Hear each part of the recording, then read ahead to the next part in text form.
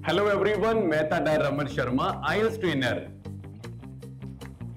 hello everyone ਮੇਰਾ ਨਾਮ ਰਮਨ ਸ਼ਰਮਾ ਮੈਂ ਆ ਤੁਹਾਡਾ ਪੀਟੀ ਕੋਰ ਦਾ ਟ੍ਰੇਨਰ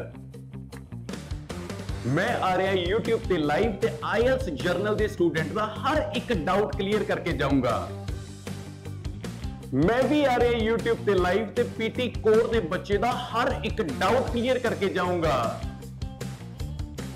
ਭਾਵੇਂ ਤੁਸੀਂ ਕੋਈ ਵੀ ਕੰਮ ਕਰਦੇ ਹੋ, ਜੇਕਰ ਤੁਸੀਂ IELTS GT ਦਾ ਪੇਪਰ ਦੇ ਕੇ ਥੱਕ ਗਏ ਹੋ 8777 ਬੈਂਡ ਨਹੀਂ ਆ ਰਹੇ, ਤਾਂ ਇਹ ਸਪੈਸ਼ਲ ਲਾਈਵ ਤੁਹਾਡੇ ਲਈ ਹੋਏਗਾ।